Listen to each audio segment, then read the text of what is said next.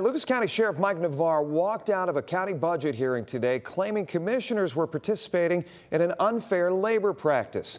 The sheriff took issue when County Commissioner Pete Gerken asked him if raises were figured into the collective bargaining agreement with the FOP. Sheriff Navarre refused to answer when it came to raises, saying the commissioner discussing personnel matters. Well, they were not, by doing that, they were not abiding by the law. Now, in a statement released to WTOL 11, Sheriff Navarre said the sheriff's office 2025 budget was submitted in August, and the agreement with the FOP was not reached until October 1st.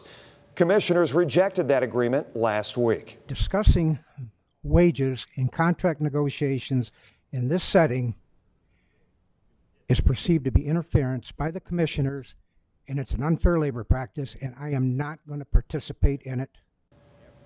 The Lucas County Commissioners sent a reaction today to today's meeting saying, quote, we are committed to transparent, a transparent public discussion with all entities that receive funding, and we welcome the sheriff or his representative to join us at next week's budget hearings and pick up where we left off today, end quote.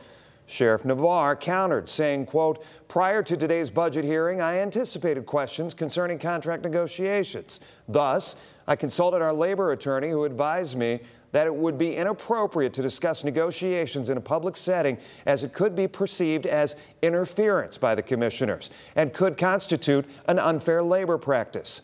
I informed the commissioners of this fact during the hearing to no avail. They continue to ask questions, leaving me no choice but to leave the hearing prior to its conclusion. The current contract expires at the end of the year.